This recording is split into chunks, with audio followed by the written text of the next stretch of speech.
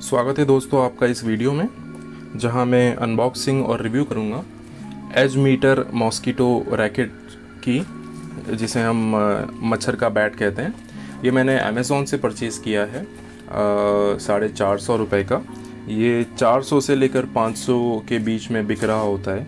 अ, ये अ, इसका बिल लगा हुआ है यहाँ पर। अ, मैंने अपनी डिटेल्स को मार्क कर दिया है। और ये इंदौर से जो है शिप किया गया है। मैंने अभी परचेज़ किया है इसे। चलिए इसे ओपन करके देखते हैं, अंदर क्या क्या है। और क्या ये ख़रीदने लायक है? चलिए ओपन करते हैं इसे। जैसा कि मैं बॉक्स के बारे में बता रहा था बॉक्स ठीक ठाक है, यहाँ से थोड़ा सा दब गया है। तो मैं उम्मीद करता हूँ कि मेरा रैकेट डैमेज ना हुआ हो। इस सेलर को थोड़ा सा ध्यान देना चाहिए। प्लास्टिक की चीज़ अगर वो भेज रहा है तो थोड़ा मज़बूत डब्बा होना चाहिए। चलिए ओपन करते हैं। जैसा कि आप देख पा रहे होंगे, मैंने अपने ग्लव्स पहने हुए हैं। मच्छर का रैकेट काफ़ी ज़्यादा पावरफुल होता है। उसमें तीन से चार हज़ार वोल्टेज बन रहा होता है। तो आप भी मच्छर का रैकेट हैंडल करने से पहले प्रिकॉशंस लें। तो ये हमारा ओपन हो गया। ये रहा हमारा रैकेट डब्बे में देख लेते हैं, कुछ और तो नहीं है, कुछ नहीं है। डब्बे को साइड रख देता हूँ मैं। ये रहा हमारा मच्छर का बैट और ये एजमीटर ब्रांड का है एजमीटर कंपनी का है होम अप्लायंसेस जैसा कि आप देख पा रहे हैं। इसके अंदर एक पेपर भी मिल रहा है। चलिए ओपन करके देखते हैं। दिखने में तो ये अच्छा लग रहा है। कलर भी अच्छा है। सबसे पहले इसमें एक पेपर है। बधाई हो, आप इस सप्ताह के भाग्यशाली ग्राहक हैं। देखिए, ये इस पेपर मिला है इसके साथ, लेकिन ये बहुत ही गलत चीज़ है। क्योंकि अमेज़ोन पर मैंने इसको रिव्यूज़ पढ़ के परचेज़ किया, ख़रीदा। तो अगर सेलर तीस रुपये दे रहा है जो भी रिव्यू करेगा तो वो सारे रिव्यू पे मुझे भरोसा नहीं होगा। वो रिव्यू सारे गलत हो सकते हैं। क्योंकि किसी भी कस्टमर को तीस रुपये के लालच में उसने फाइव स्टार रिव्यू दे दिया। तो अमेज़ोन को इस तरह का चीज़ें नहीं करना चाहिए। इस तरह के सेलर्स को आपको नहीं बेचने देना चाहिए। ये बहुत ही बहुत गलत है ये ये कस्टमर्स के लिए। तो दिस इज़ ये सबसे बहुत गंदा लगा मुझे ये सब। इसे साइड में रखते हैं। देखते हैं आगे क्या है हमारे पास। अंदर से एक रैकेट है और मैं जैसे देख पा रहा हूँ एक चार्जिंग केबल है। ये एक बैग है अच्छा है प्लास्टिक का है वैसे। अ, शायद ज़्यादा ना चले लेकिन ठीक है। इसको साइड में रख देते हैं। अब देखते हैं रैकेट को।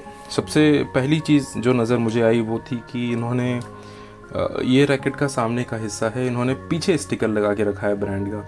इसका इसका क्या उन्हें समझ में आया पता नहीं। और ये भी कोई ब्रांडिंग नहीं है, सिर्फ़ एक पेपर का स्टिकर लगा हुआ है। और मैंने चेक किया तो ये जो रैकेट है, ये इनका नहीं है। ये रैकेट एक चाइनीज़ रैकेट है, जो रॉकलाइट नाम की कंपनी मैं फ़ोटो ऐड कर रहा हूँ। रॉकलाइट नाम की कंपनी बनाती है, जो कि चाइनीज़ कंपनी है। और ये जो हैं एज मीटर ये उनसे परचेज़ करके इसे अपना ब्रांड लिखकर मेड इन इंडिया बताकर बेच रहे होते हैं। जो कि दूसरी बहुत गलत चीज़ है जो ये कर रहे हैं। पहली चीज़ मैंने आपको बता दी कि कि फाइव स्टार रिव्यू के बदले पैसे दे रहे हैं तो सारे ही रिव्यूज़ पैसे आपका भरोसा उठ जाता है।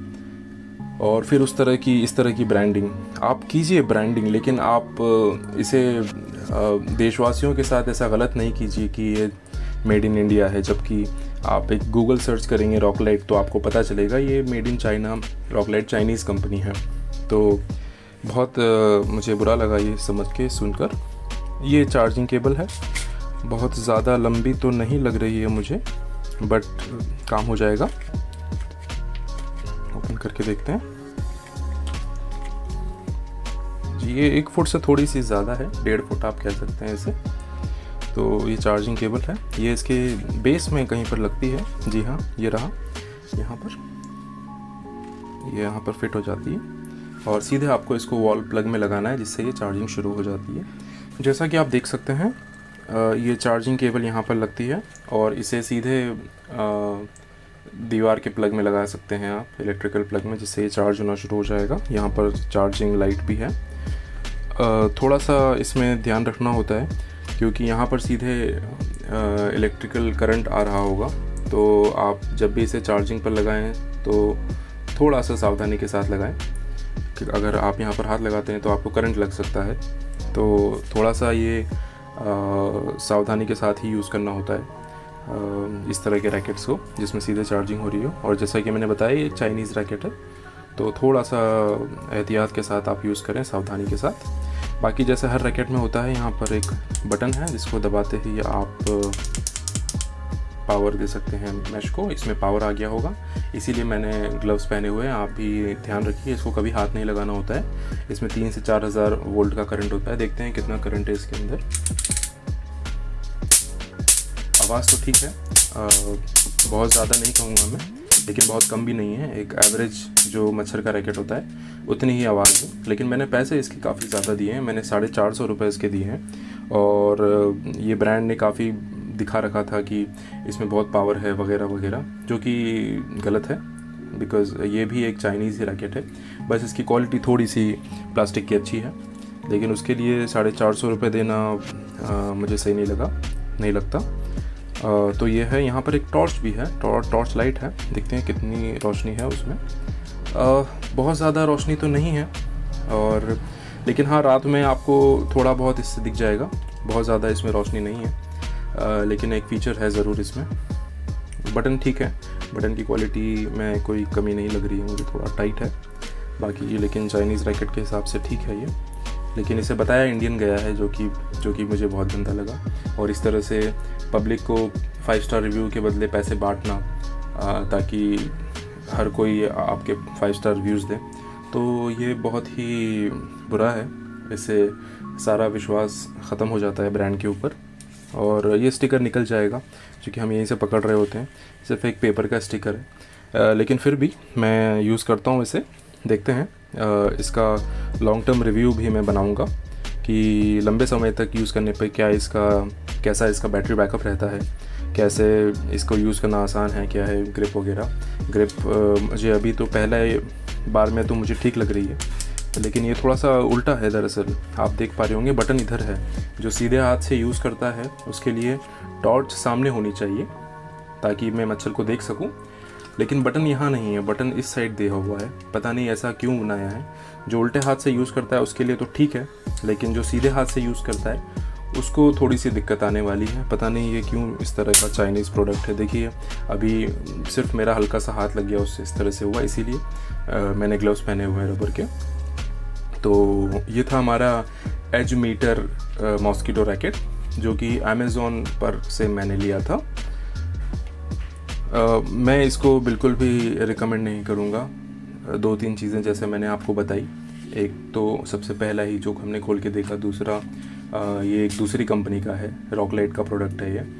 uh, जो कि मार्केट में भी अवेलेबल है लेकिन ये लोग इसे अपना बता कर बेच रहे हैं। तो ये सब छोटी छोटी जो चीज़ें हैं उनकी वजह से।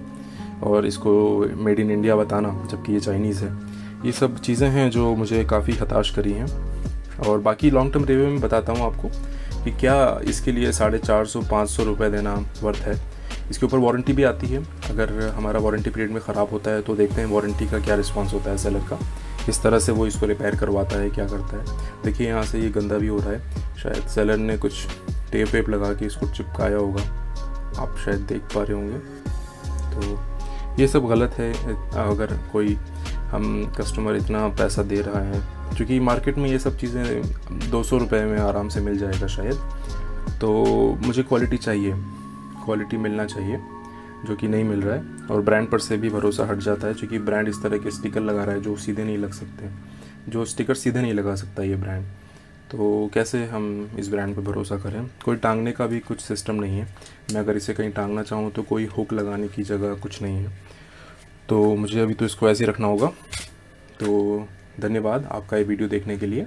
अगर आपको ये वीडियो पसंद आता है तो लाइक कीजिए शेयर कीजिए सब्सक्राइब कीजिए। इसी तरह के और रिव्यूज़ देखने के लिए। धन्यवाद।